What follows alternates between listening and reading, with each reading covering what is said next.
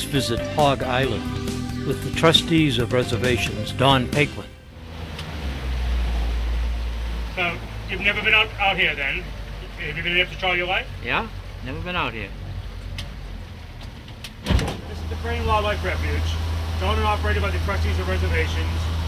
It consists of five islands, two of which we can go on today. Uh, we're landing on Long Island and going to Island, which, if you're from the area, everyone knows it as Hog Owned and operated by the trustees of reservations. We now have 100 properties throughout Massachusetts. We're dedicated to saving properties of exceptional scenic, ecological, historical significance throughout Massachusetts for the public's use and enjoyment. Um, this was originally way back.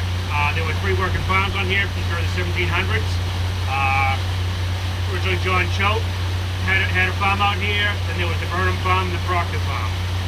Uh, eventually, uh, the lineage at at Choate site sold to the Crane family. And the Crane family gave it to the trustees of reservations in, in 74.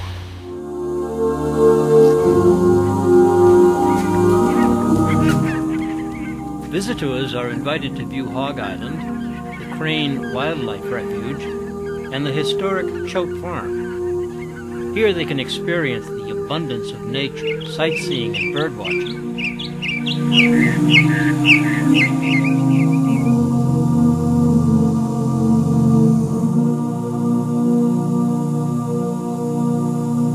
The old Choate Farm barn dates from 1730 or so and was used as recently as 1995 as an indoor movie set for the Hollywood film The Crucible.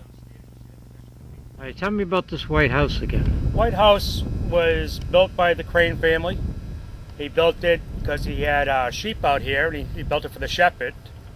Um, it has a point spring, so it has some of the clearest, finest water you could could imagine. Um, it's rented to a private individual. Um, we don't allow them to use the generator except for to charge up the water system. So they do everything with oil lamps and stuff. It's very rustic and laid back. Now we're being taken to the original Choate farmhouse for a private and exclusive tour. This house has remained pretty much untouched for 283 years.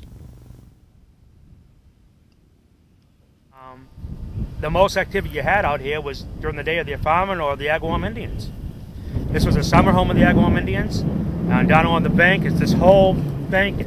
If you dig into it, see the whole coast of Maine. And when we get to the top, we'll be able to see that. There was a tribe called the Tarratines that was said to be perhaps cannibalistic that would attack the Agawams every fall after they set up all their stores. But from the top of the hill, you could actually see them coming down down the coast in their longboats.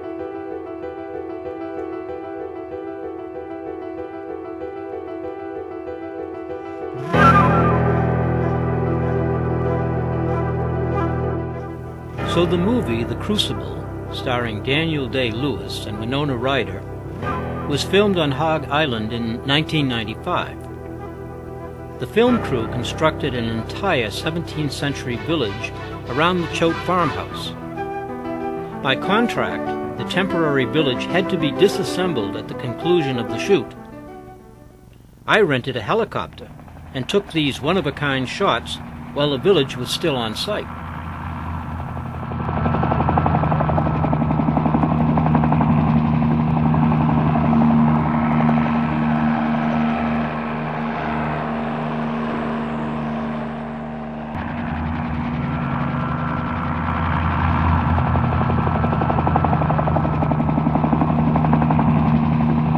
As you walk through,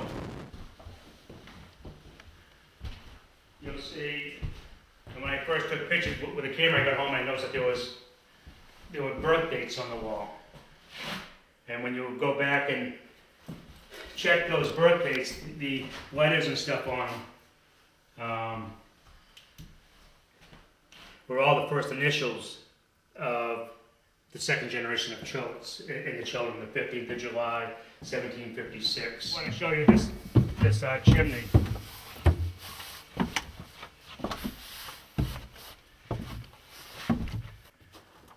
Light. And this supports the entire chimney structure all the way to the roof? Yeah. You saw that one fireplace that you did. There's another one on the other side. Yeah. Um, so we'll, we'll go back up and we'll look at that too. But look at this beam here. Yeah. That is that is immense.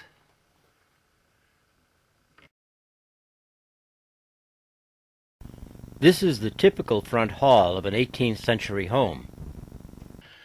It had the front door. Yeah, this is we think 1725 to 1735. Okay, as soon as you came in, you had the stairway upstairs, and the parlor was to the left.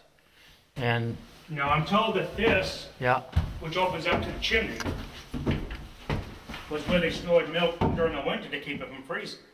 next to the chimney. Yeah. Cool. Someone says, "Isn't that where they hid from Indians?" And like, yeah, there's this door right there. I'm sure they would. the Indians would have found it.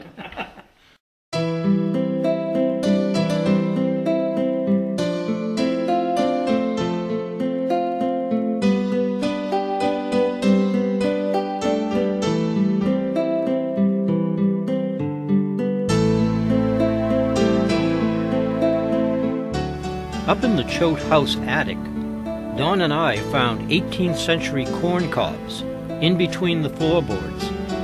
These had been eaten, dried, and used as attic insulation. Pretty clever. When they had the other side going, they would probably cook more in here. Even though at one time there were um, things that came out of the wall for, for a